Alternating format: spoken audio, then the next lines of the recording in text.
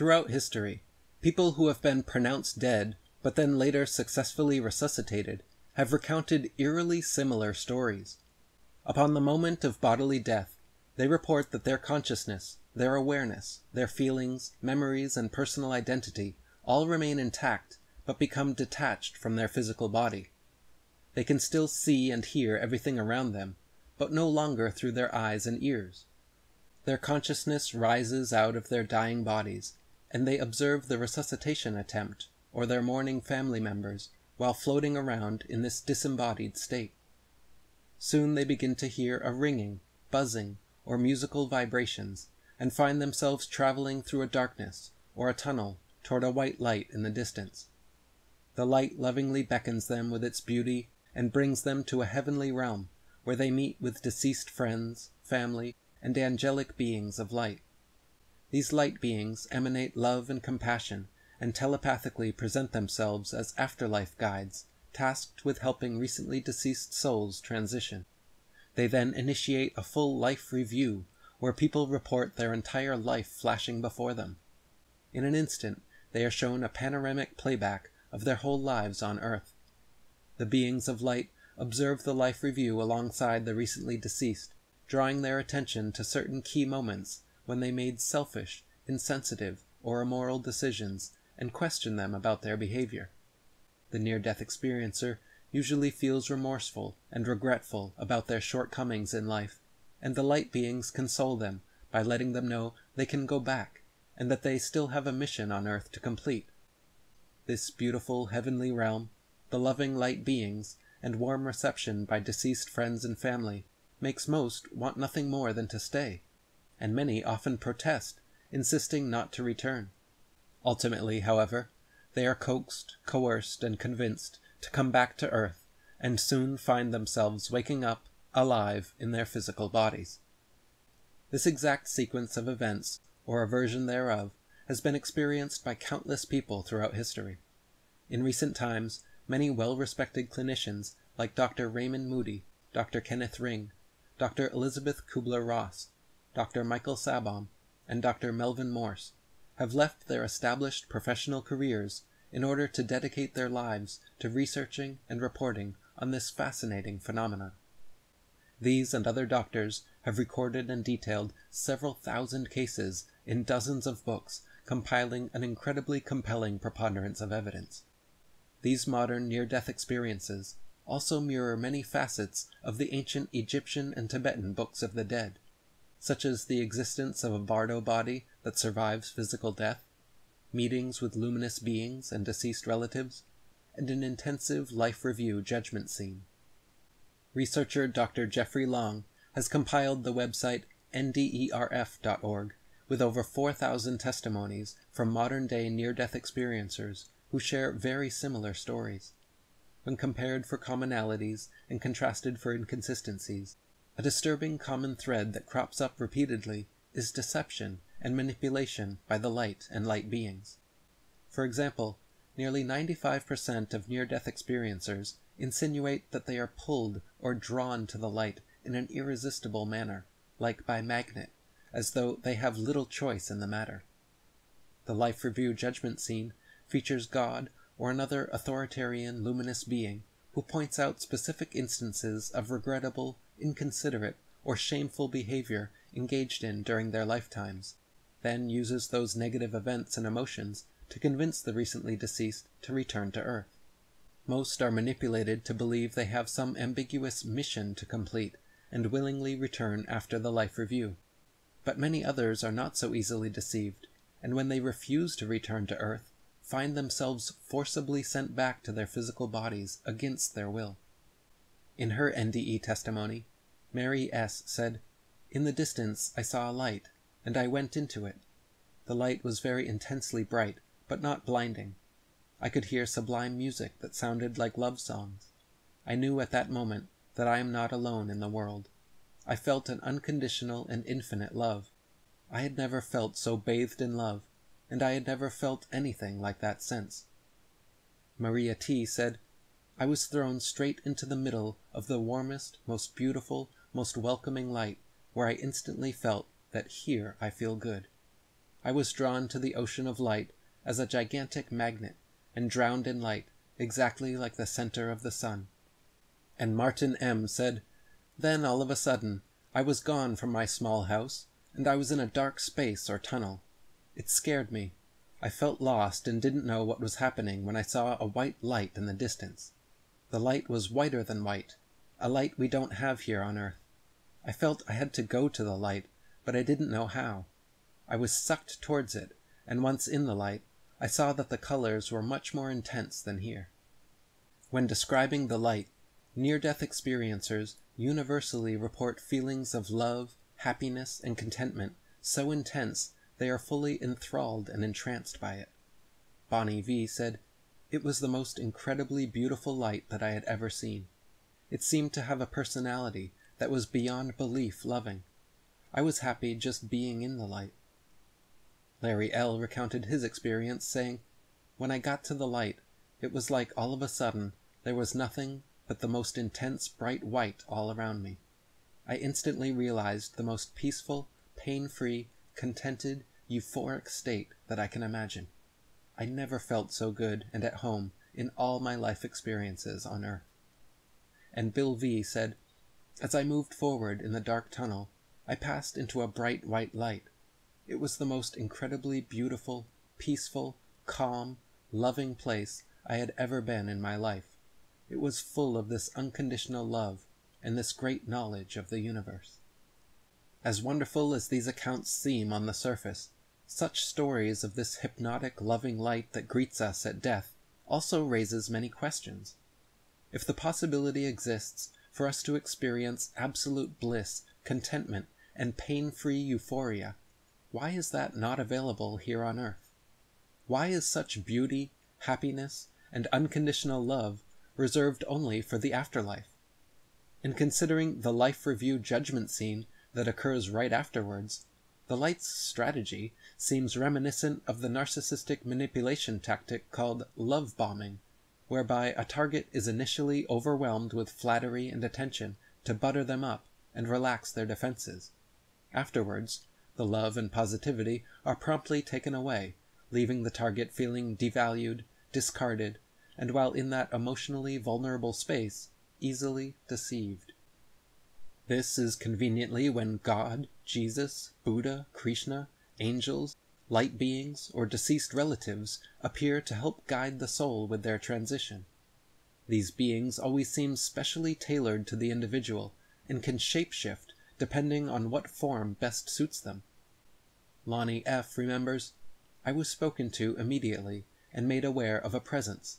After we agreed that I would see him in physical form, he appeared.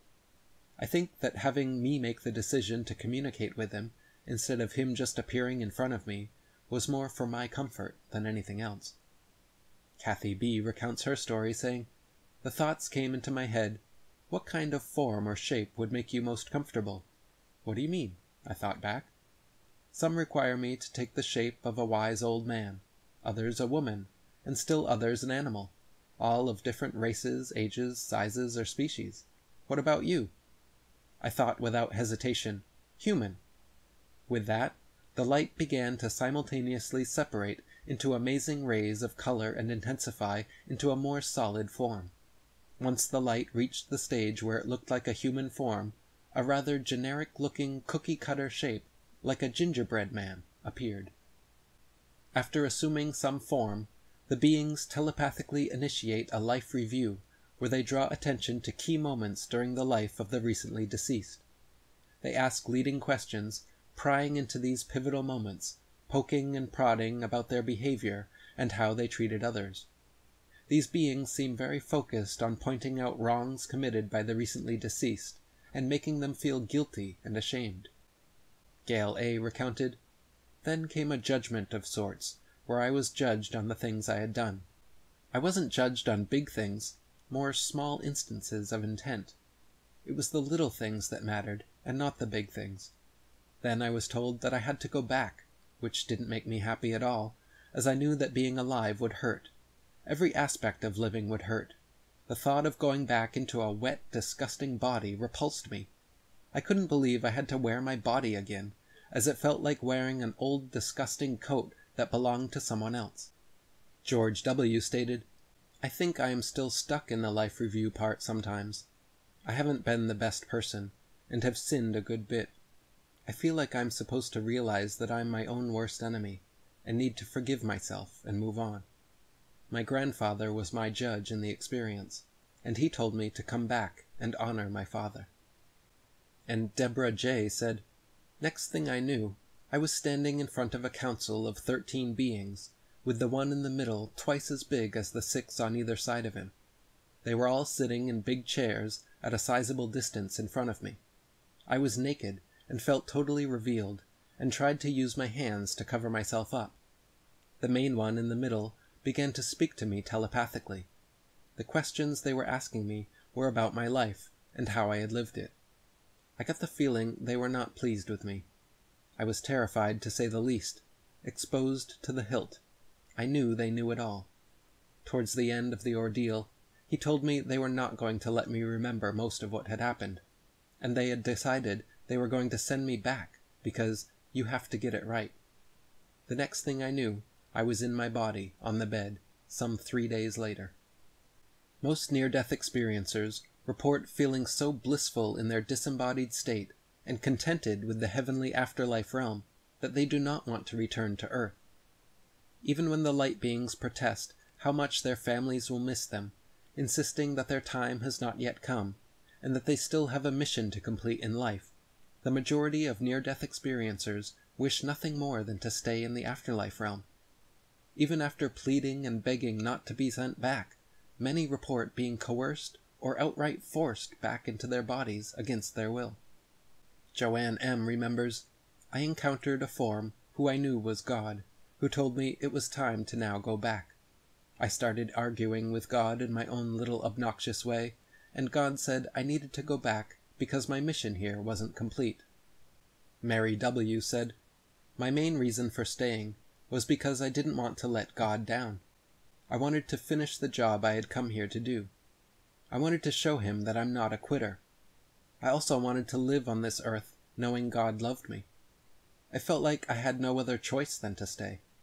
I replied, almost in a whisper, and very, very reluctantly, I really want to go with you, but I have to stay.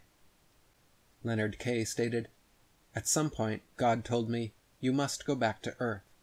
I refused. No way I should go back into that sick body. Then God showed me a vision of my mother who cried because I was dead. Then I came back. And Steve L. said, I asked if I could stay because it was so beautiful there, and I didn't want to come back to Earth. The light being said, No, you have a mission that you must do. I didn't know what the mission was, but I said yes to returning back to Earth. In the majority of cases, the near death experiencer is subtly coerced through suggestions and visions to willingly return to Earth. After shape-shifting into a personalized authority figure and insisting they have some ambiguous mission to complete here on Earth, the light usually succeeds in manipulating them to agree. In some cases, however, particularly stubborn souls who refuse to capitulate are simply forced back into their bodies without their consent. Geraldine B. remembers, It was not my choice. I was forced to go back. I didn't want to. The decision was made by that main light source. Philip S. said, There was a royal figure who decided, without my consent, if I could stay with them or not.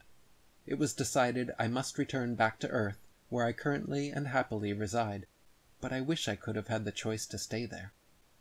Stephen R. stated, They asked me if I wanted to stay with them or if I wanted to come back to Earth. Because everything was so overwhelmingly wonderful and beautiful, I asked to stay with them. It wasn't until years later, after I realized what happened to me had a name, near death experience, and that what happened to me was real, not a dream, that I remembered then they sent me back against my will. Then I was really mad. Why did they make me come back when I wanted to stay? I felt controlled.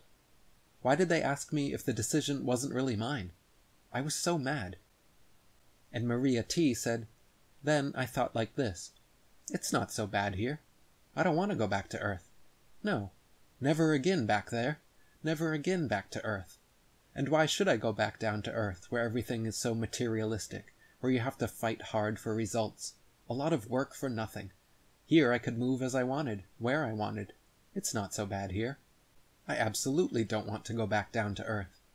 And while I was enjoying my new condition of total freedom and total love, I was pulled down, as by a line, an elevator, or a force, something pulled me back into my body. It's quite suspicious how this after-death light either coerces or sucks people towards it, transforms itself into a personalized authority figure, replays negative moments from their lives to guilt trip and shame them, then coerces or forces them to return back to Earth. Why is there so much manipulation involved in this experience? If souls can simply be forced back without their consent, why is so much effort put into persuading them to return willingly?